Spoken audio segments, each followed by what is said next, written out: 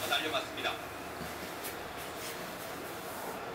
자 일단 두 팀이 어쨌든 간좀 이탈리아 같은 경우에는 굉장히 끈적끈적한 축구를 구사하는 팀이고 코스타리카도 어, 기대와는 달리 굉장히 어, 무서운 또 공격력을 자랑하고 있습니다. 그렇습니다. 최근 특히 이탈리아의 특징을 보면 최근 9경기에서 13개의 실점을 하면서 사실은 좋은 모습을 보여주지 못했어요. 네.